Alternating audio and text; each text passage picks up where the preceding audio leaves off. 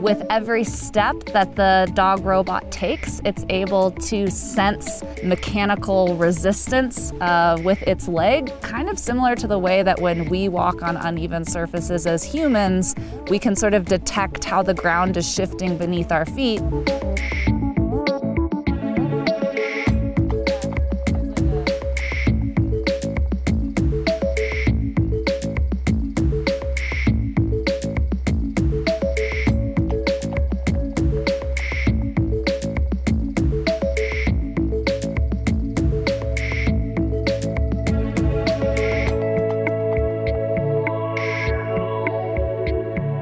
Ideally, we are doing a very novel thing to turn each leg of the robot into a soil regular sensor so that when the robot is running around, every step we want the robot to be gathering information about the environment.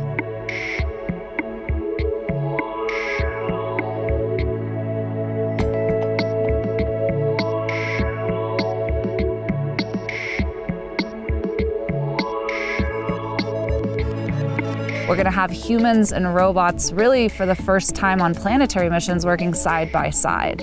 And so what the LASSIE project is doing is really looking forward to that time and considering how should humans and robots collaborate for exploration of planets.